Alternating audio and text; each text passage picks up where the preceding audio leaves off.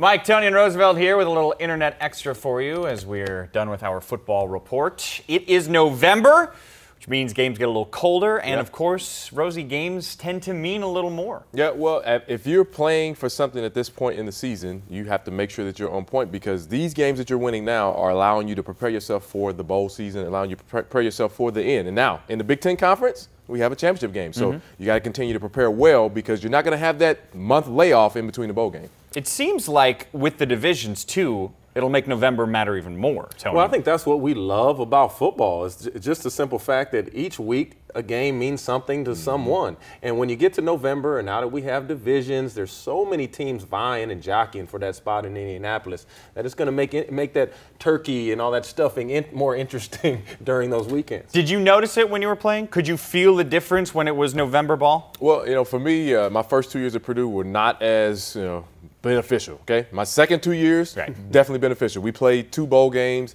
Uh, it, it did get colder, but it was more funner because we were winning ball games, and I think those teams that are in a position that were possibly going to bowl games this year, I think it does make it funner. Well, you know, I went to Michigan State, so it was kind of rare for us not to be in a good bowl, let alone a Wow. bowl. You know, that wasn't Wow. really the question. Is were we going January bowl or December Was that bowl? a shot at me that, you just just happened. did? A tiny bit. That just happened.